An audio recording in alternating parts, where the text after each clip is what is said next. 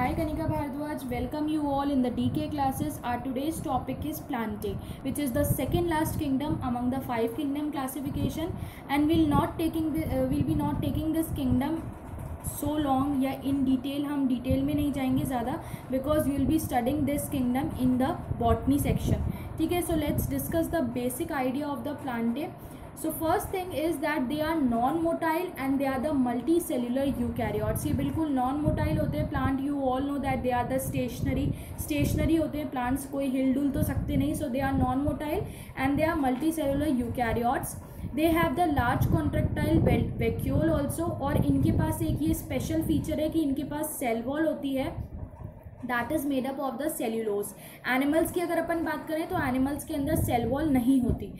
Cell wall जो है वो प्लांट को क्या प्रोवाइड करती है? रेजिडिटी प्रोवाइड करती है सपोर्ट प्रोवाइड करती है। इसीलिए सेल वॉल असेंशियल है, क्योंकि प्लांट स्टेशनरी होते हैं, वो एक जगह पे खड़े रहते हैं, ठीक है? नॉन मोटाइल होते हैं। Next is they have the chlorophyll and hence they can perform the photosynthesis also then they have the different cell organelles for anchorage, reproduction, support, photosynthesis. यानी कि इनके पास अलग अलग सेल ऑर्गेनलीज होते हैं। हर चीज़ का फ़ंक्शन करने के लिए इनके पास अलग सेल ऑर्गेनलीज हैं। जैसे एंकरेज का फ़ंक्शन अगर करना है तो अलग सेल ऑर्गेनलीज है। रिप्रोडक्शन का फ़ंक्शन है तो अलग है। सपोर्ट देना है तो अलग सेल सपोर्ट देंगे। फोटोसिंथेसिस के लिए अलग सेल रिस्पॉन्सिबल हैं। तो every for every different functions इनके पास डिफरेंट डिफरेंट सेल ऑर्गेनलीज होते हैं। Next is that their nutrition is what autotrophic ये बहुत ही कॉमन uh, चीज़ है कि इनका न्यूट्रिशन जो है ऑटोट्रॉफिक होता है। But exception is always there तो exception is there that few shows the heterotrophic mode of nutrition also जैसे कि पैरासाइट हो गए पैरासिटिक इंसेक्टिवोरस एंड सिम्बायोटिक अगर अपन पैरासिटिक की बात करें तो पैरासिटिक क्या होते हैं? The plants which takes up all the nutrition from the other plants ऐसे प्लांट्स जो कि दूसरे प्लांट से या दूसरे लिविंग और प्लांट से अपना न्यूट्रिशन लेते हैं एज एन होस्ट उसको होस्ट बना के लेते हैं। तो उनको अपन बोलते हैं पैरासिटिक प्लांट जैसे example cuscuta next is insectivorous now insectivorous का मतलब ये न, ये है कि वो प्लांट्स जो कि खुद इंसेक्ट्स खाते हैं। इंसेक्ट्स को वो कैप्चर करते हैं और इंसेक्ट्स को खा जाते हैं वो। तो ऐसे कौन से प्लांट्स का एग्ज़ाम्पल है? Pitcher plant then symbiotic you all know यानी कि जो म्यूचुअल रिलेशनशिप शो करता है, जो आपस में इंटरडिपेंडेंट रहते हैं प्लांट्स उनको अपन बोलते हैं symbiotic plant and the example is leguminous plant जितने भी लेग्यूमिनस प्लांट हैं, जैसे कि अपन बोल सकते हैं राइजोबियम ऑल्सो तो जितने भी लेग्यूमिनस प्लांट हैं those all plant shows the symbiosis now next is their life cycle shows the alternation of generation अब इस ऑल्ट्रेशन ऑफ़ जनरेशन वर्ड का मीनिंग क्या है? This thing is new for you all I think तो alternation of generation means कि life cycle ठीक है? इनकी जो लाइफ साइकिल होती है प्लांट्स की लाइफ साइकिल वो दो फेस में होती है. One is a haploid phase and one is a diploid phase haploid phase sexual phase होता है और जो डिप्लॉइड फ़ेज़ होता है, वो ए सेक्शुअल फ़ेज़ होता है। इसीलिए ये बोला गया है that their life cycle life cycle shows the alternation of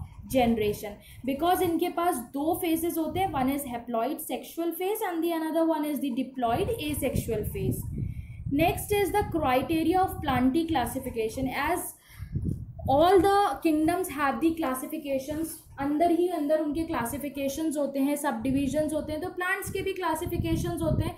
तो प्लांट का जो क्लासिफिकेशन होगा, वो किस क्राइटेरिया के ऊपर होता है? Let's see so the first is the plant body then second is the vascular system and the third is the seed formation.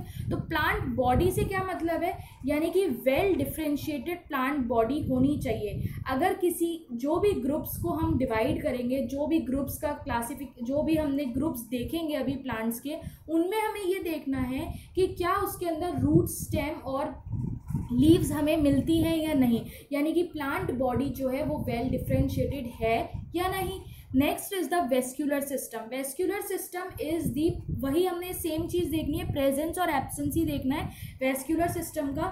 But vascular system होता क्या है? जो ट्रांसपोर्टेशन ऑफ़ वाटर और मिनरल्स में हेल्प करता है। उस सिस्टम को क्या बोलते हैं? वेस्क्यूलर सिस्टम तो इसमें दो तरीके की सेल्स होती हैं one is phloem and one is the xylem next is the seed formation seed formation की जब अपन बात करते हैं तो इसमें भी अपन यही देखते हैं the presence and the absence of the seed यानी कि सीड बन रही है, नहीं बन रही है, वो फ्लावर बन रहा है फ्रूट्स बन रहे हैं उसमें या नहीं बन रहे तो ये सारी चीज़ें अपने को देखनी है। ना नेक्स्ट लेट सी कि प्लांट का जब क्लासिफिकेशन करा तो क्या क्या फाइलम्स निकल कर आए। So the phylums were first is the thallophyta bryophyta pteridophyta gymnosperms and the angiosperms अब इनको अपन को तीन चीज़ों में, तीन क्राइटेरिया के अकॉर्डिंग डिवाइड करना है। One is the plant body vascular system and seed formation तो प्लांट बॉडी अगर अपन थैलोफाइटा की देखें तो वो थैलस लाइक होती है। वेस्क्यूलर सिस्टम की बात करते हैं तो वो टोटली एबसेंट होता है थैलोफाइटा में। सीड फॉर्मेशन भी टोटली एबसेंट होती है। And the example of thallophyta is what algae जब हमने थैलस लाइक प्लांट बॉडी देखी इट मीन्स कि जो उसकी प्लांट बॉडी है, वो वेल डिफ्रेंशिएटेड नहीं है। यानी कि उसके अंदर रूट शूट एंड लीव्स नहीं है, अच्छे से डिफ्रेंशिएटेड नहीं है। Next is the bryophyta bryophyta के अंदर अपन ये चीज़ देखने से पहले एक बात मैं आपको बता दूँ कि bryophyta are called as the amphibians of the plant kingdom plant kingdom के एम्फीबियंस बोला जाता है इनको। Now coming on to the flow chart तो ब्रायोफाइटा जो है, उसके अंदर प्लांट बॉडी वेल डिफ्रेंशिएटेड नहीं होगी, यानी रूट स्टेम लीव्स अलग अलग नहीं होते। बट हाँ लीफ लाइक स्ट्रक्चर होगा किसी में किसी में शूट लाइक स्ट्रक्चर होगा, किसी में रूट लाइक स्ट्रक्चर होगा ब्रायोफाइटा का। वो पूरे प्लांट का ही ऐसा स्ट्रक्चर होता है। ऐसा नहीं होता कि ब्रायोफाइटा में अलग अलग रूट्स अलग दिखेंगी स्टेम अलग दिखेगी लीफ अलग दिखेगी, ऐसा नहीं होता। देन वेस्क्यूलर सिस्टम की जब अपन बात करते हैं तो इसके अंदर ट्रू वेस्क्यूलर सिस्टम एबसेंट रहता है।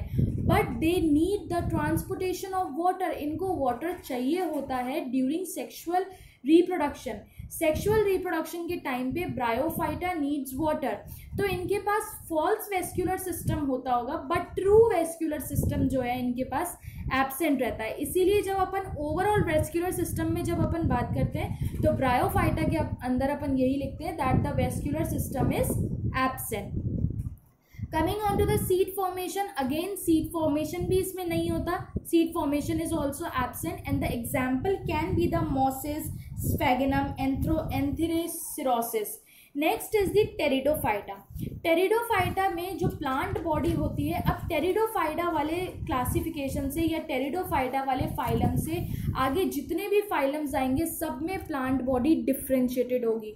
बहुत ही प्रॉपरली डिफ्रेंशिएटेड होती है रूट है, शूट है, लीव्स है अलग अलग होते हैं।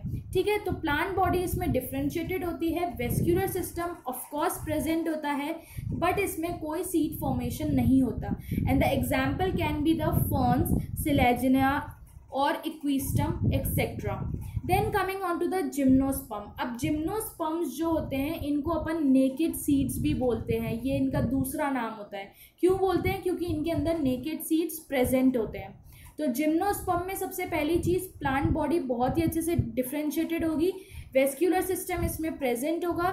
सीड फॉर्मेशन के अंदर भी सीड्स भी प्रेजेंट है। कैसे सीड्स प्रेजेंट है? Naked seeds are present and the example can be the pinus cycas etcetera coming on to the angiosperm angiosperms के अंदर वेल डिफ्रेंशिएटेड प्लांट बॉडी है vascular system is also present but जो इसमें अंदर seed होते हैं seed होते तो हैं बट नेकेड सीड नहीं होते। The seeds are enclose within the fruit fruit के अंदर सीड जो है, वो प्रेजेंट होता है। तो इसके अंदर जो एग्ज़ाम्पल आता है, वो मैंगो आ सकता है टोमेटो आ सकता है रोज आ सकते हैं अनियन आ सकता है। ओके एंजियोस्पर्म जो है वो आगे जब आप बॉटनी में पढ़ोगे डिटेल में, इसको तो आप देखोगे कि एंजियोस्पर्म को भी दो पार्ट्स में डिवाइड करा है further one is monocotyledon and the another one is dicotyledon monocotyledon यानी जहाँ पर सिंगल कॉटिलेडन होता है और डाइकॉटिलेडन यहाँ पे, जहाँ पर दो कॉटिलेडन होते हैं. Okay now, this is the example of the plants like spirogyra merchantia ferns, pines, deodar.